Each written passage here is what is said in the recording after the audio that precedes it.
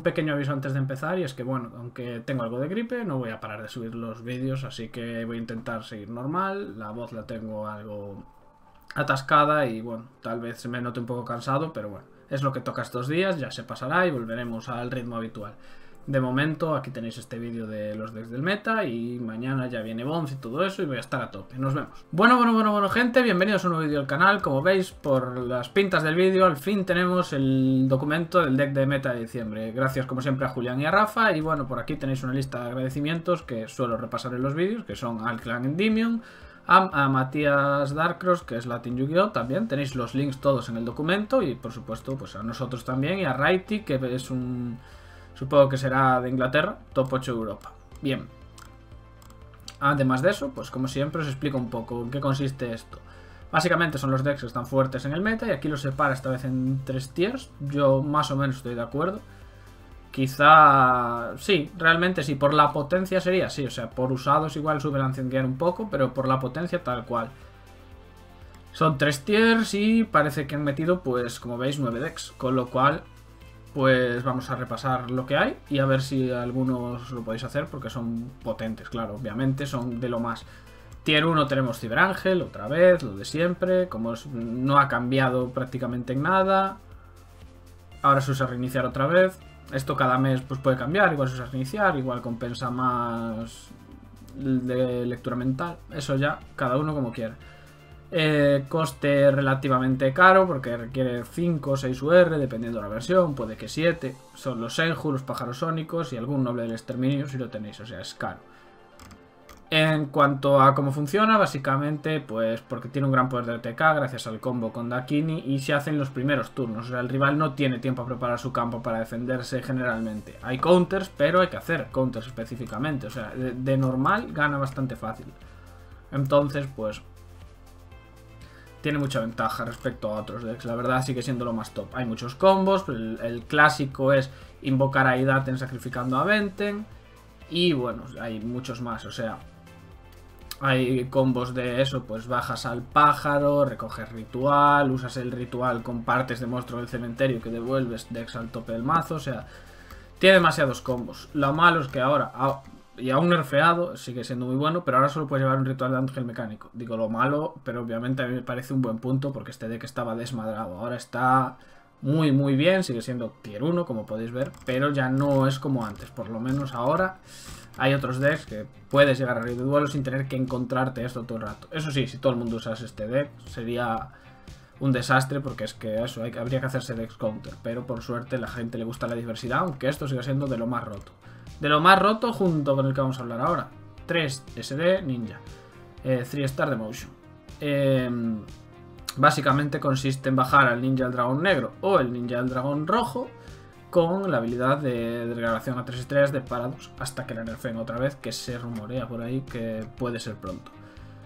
En cuanto al coste, en teoría es bastante barato si no fuera por esta carta de la que se necesitan entre 2 y 3 copias dependiendo de la versión del deck, que es el Ninjitsu Arte de la Transformación, que nos permite básicamente eh, bajar a, un ninja de 3 estrellas más que el ninja que sacrifiquemos. O sea, si sacrificamos un ninja de 4 bajaríamos directamente al ninja del dragón negro a grandes resúmenes para este deck. La carta no hace exactamente eso, pero básicamente aquí funciona para eso. Y luego tenemos la duplicación, que básicamente es para bajar o varios ninjas o una copia de otro ninja si te targetea el primero con controlador de enemigos, para que pierda el target, cosas similares.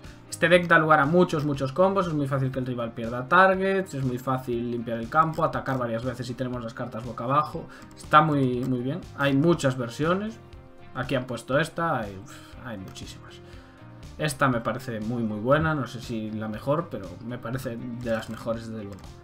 Y eso, básicamente consiste en combos, sacando unos ninjas por otros, tenemos un poco de todo. El ninja del dragón negro pues permite vanishar un monstruo del campo, el del dragón rojo permite devolver al tope del mazo o al fondo del mazo del rival una carta que tenga colocada, el ninja escarlata destruir trampas, está bastante, como digo, bastante completo y es a base de combos. Es complejo de utilizar, pero en el caso de que os interese, aquí tendríais pues la guía.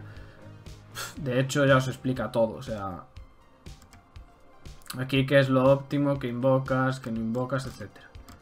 Vale, siguiente deck. Hazy Flame con estrategia de Arobru. Este es relativamente barato.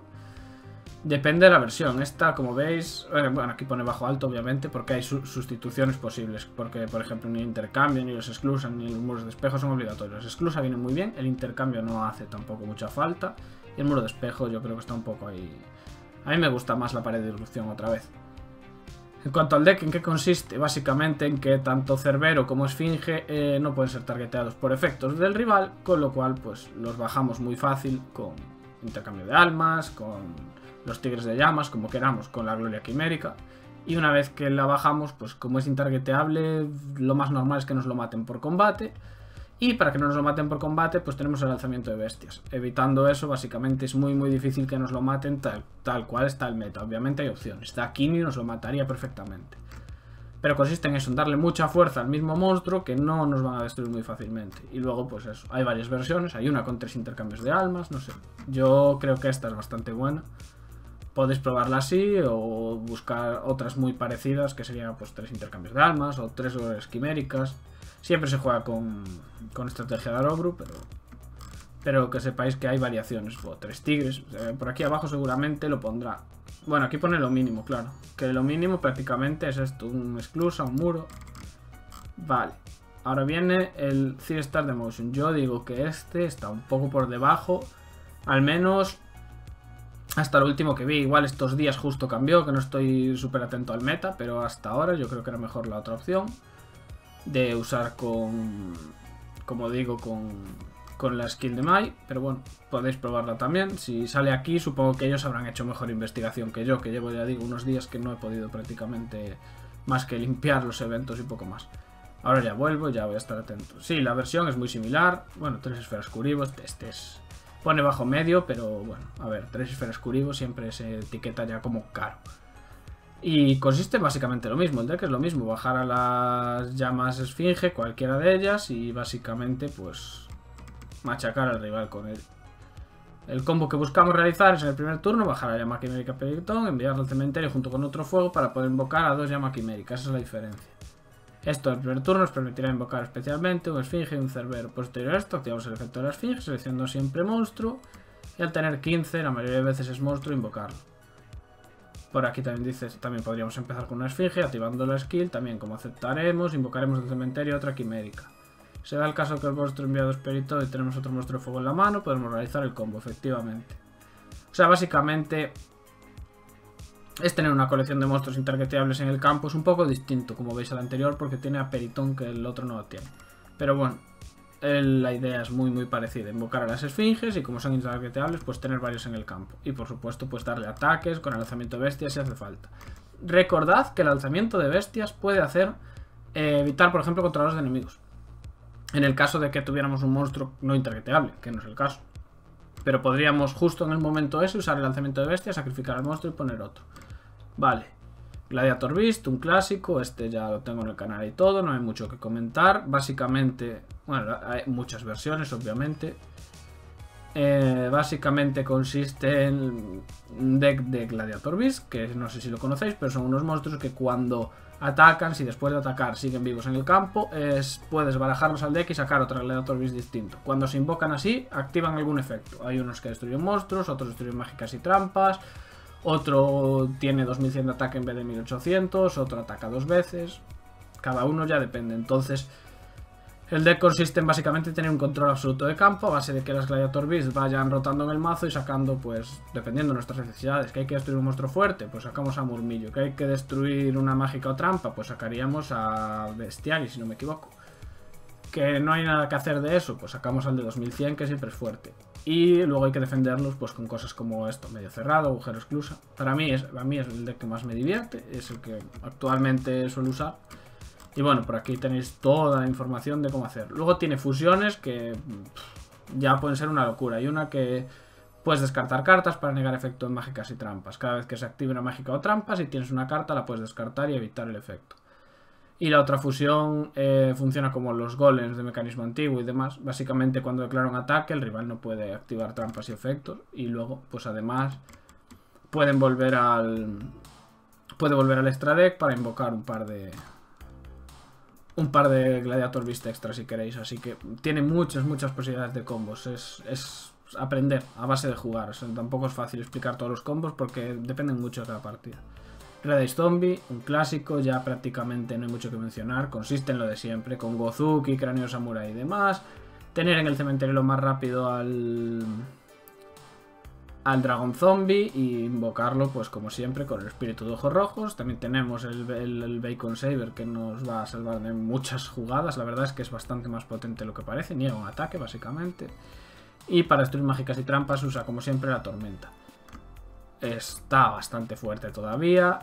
Ya no es lo mismo que antes, pero bueno, sigue estando ahí en la pelea. Se puede seguir jugando perfectamente, llegar a leyenda como siempre y a rey de duelos. Se juega con paliza, siempre, indudable, esto es indudable. Así que usáis a Kaiba, usáis a Crawler.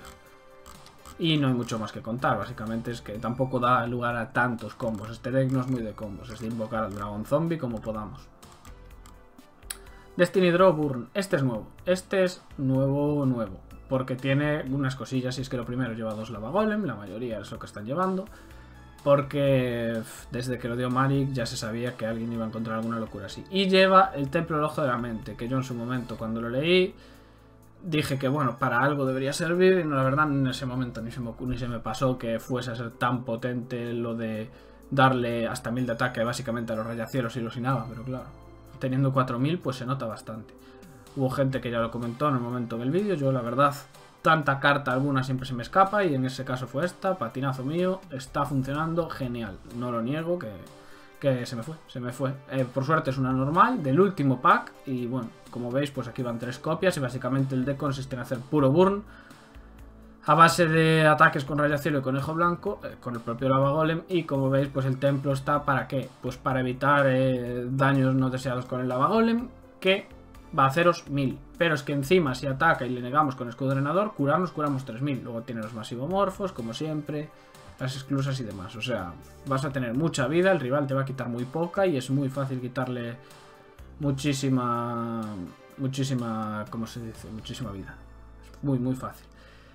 En cuanto recibamos dos ataques, podríamos usar robo del destino, como siempre. Y eso, el rival lo tiene complicado porque con un solo monstruo no va a hacer gran cosa, teniendo en cuenta que está el templo. Y lo bueno de las cartas de campo es que no se usan mucho, pero no son fáciles de destruir generalmente, depende del deck, claro. Así que no es lo mismo que una carta trampa normal, que ya hay más cosas. Generalmente los decks no están tan preparados. Los del meta, la verdad es que, por ejemplo, Gladiator Beast sí, pero ya está. El resto no, no, no tienen gran cosa para destruir, por eso es un deck bastante molesto. Eh, Dino Control. Esto ya entramos en el tier 3. Aquí ya es un poco, bueno, un poquito más flojo, pero si no tenéis mejor cosa. Básicamente es un típico deck de control, pero esta vez pues con el reino dinosaurio y monstruos dinosaurios. ¿Por qué? Porque tienen un alto ataque, pues concretamente eh, tendría 2100 el Brachos, que está muy bien el efecto. Como veis no, no, se lleva el de 1900, no hizo falta, porque justo también salió casi a la vez el Brachos, o incluso a la vez. Entonces está usando el Brachus porque compensa más. ¿Por qué? Porque cuando lo invocas, pues pasa a defensa un monstruo del rival y eso, eso te puede dar una ventaja increíble porque es muy fácil atacar a los monstruos en defensa. Luego, como siempre, Sargento Electro, el Hidrogedón, que es la sorpresa aquí del deck dinosaurio. Y luego, pues nada, lo podemos invocar, podemos invocarlos muy fácilmente con búsqueda de fósiles y luego las típicas cartas defensivas de toda la vida. Funciona bastante bien. Aquí está, es un deck que se basa en tratar de mantener un buen control del campo, con monstruos dinosaurios como principales bites y otras cartas que los apoyan para protegerlos y o ser agresivos. Siempre se juega con Reino Dinosaurio, no hay duda. Y aquí está el, el Brachos, tiene 2100 y en 4 estrellas está muy bien. Aparte de ser invocado, podemos seleccionar un monstruo del campo y seleccionar la defensa, por lo que podremos lidiar fácilmente con monstruos de alto ataque y baja defensa o prevenir perder a nuestros monstruos por culpa de muros de espejo, paredes de disrupción, efectivamente. Si nos topamos contra un monstruo y aguanta por alguna de esas cosas, pues por lo menos el nuestro no muere y siempre nos viene bien. Y por último, yo creo que es el último, sí, es el último Ancient Gear. Ya lleva también un par de meses, está bastante abajo en meta, pero no es un mal deck. Ninguno de la lista lo es, obviamente, con todo se podría llegar tarde o temprano a Kog, pero hay que trabajar. Básicamente lleva tres caballos de mecanismo antiguo, tres electros, dos bestias, el golem, una esfera curibo y luego pues cartas típicas de defensa y lo nuevo, lo nuevo son las minas de pulso y la tragedia, que es un combo bastante guay. El combo de la tragedia es de, de primero de Duel Links. Esto lleva aquí desde que empezó el juego prácticamente. ¿En qué consiste? En que si tenemos alguna carta que mande a todos los monstruos a defensa, los vamos a destruir todos. Y claro, las minas de pulso que han sido de Sparroba pues van genial con eso. A la gente que le tocó, enhorabuena. Yo quería probar eso, pero no me ha tocado ni unas minas de pulso. El deck en que consiste básicamente en que los monstruos Ancient Gear pues no afectan las mágicas y trampas a la hora de declarar ataques y atacar. O sea, durante toda la batalla pues el rival no va a poder activar nada, con lo cual tiene que activarlo antes y no nos sorprende tanto. Y no tengo mucho más que decir. Estos son los decks meta de este mes. Y espero como siempre que os haya servido pues toda la información que os traigo aquí. Un saludo y nos vemos en el próximo vídeo que será ya pronto con el tema de, de Bond. Nos vemos.